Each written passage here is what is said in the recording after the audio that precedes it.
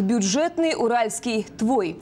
Как встретить Новый год, если праздничное настроение есть, а денег мало? Главные новости Екатеринбурга бесплатно раздают антикризисные советы в серии специальных репортажей.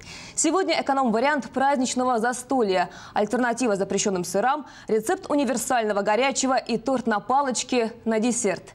Богатый, но недорогой стол в материале Валерии Алферовой.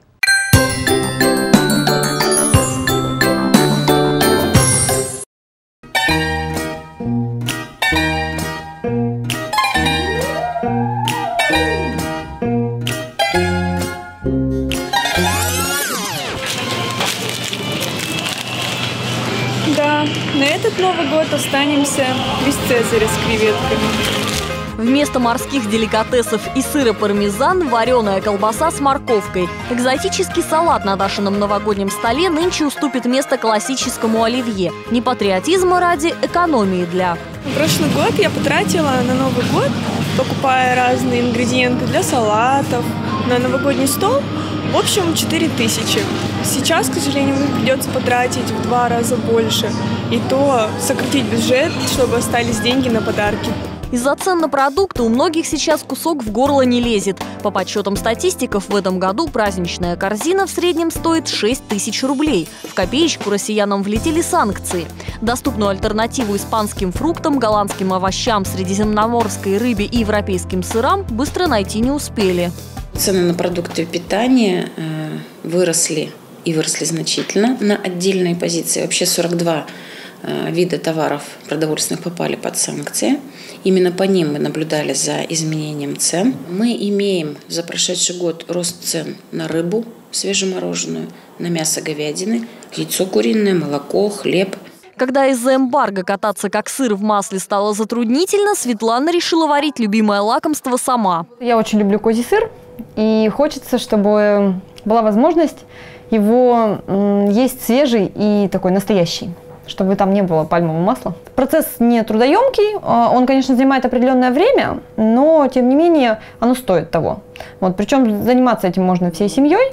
Ее кухня напоминает маленькую сыроварню. В холодильнике зреет камамбер, запасы шевре и фета регулярно пополняются. Тут главное терпение и аккуратность. Например, чтобы сварить моцареллу, нужно нагреть молоко на водяной бане ровно до 34 градусов. Добавляем закваску и фермент и настаиваем 40 минут. Сырный сгусток вновь нагревается, а после отжимается через дуршлаг и вымачивается в соленой воде. Вуаля! Особенно пикантно моцарелла по-уральски смотрится с местными разносолами.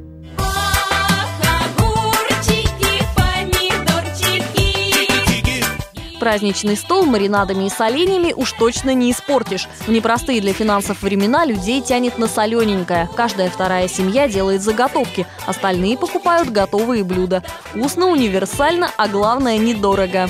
Люди уже покупают. Большинство людей любят винегреты. Покупают огурцы, квашеную капусту, то же самое для рассольников, для соляночки. Соленье – это очень обогащенный товар, в нем очень много витаминов. И не так оно скоропортишься, потому что это соленье готовится с осени и на сезон.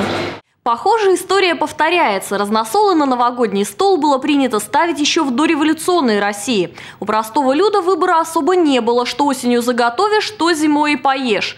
Мясо было роскошью, так что на вкус праздник был соленым и сладким, благодаря выпечке. У каждого была бабушка, которая пекла оладушки. Давних времен Новый год на Урале пахнет, нет, не мандаринами, а хлебом, точнее шаньгами. Это блюдо придумали коми-перемяки. Надежду Орлову нехитрому, но вкусному рецепту научила мама. С тех пор без шаник ни один зимний праздник не обходится.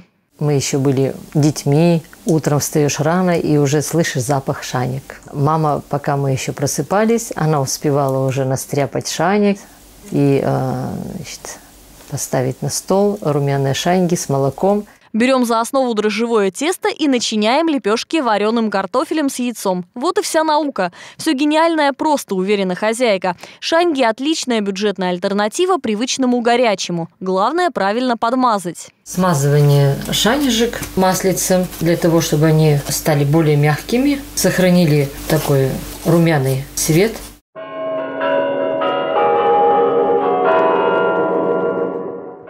Привычка наедаться в ночь на 1 января на год вперед у россиян появилась в советские годы, когда зимний праздник стал символом мирной и сытной жизни.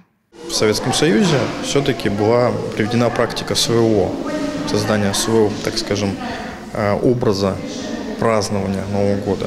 Салаты зимние, прежде всего. Там э, нету никаких экзотических фруктов, а там именно то, что можно сохранить до зимы. Экономическая ситуация в стране всегда была непростой, так что из доступных продуктов хозяйки умудрялись сделать и первое, и второе, и компот. Новогодние баллы сейчас правят салаты и, конечно, пельмени.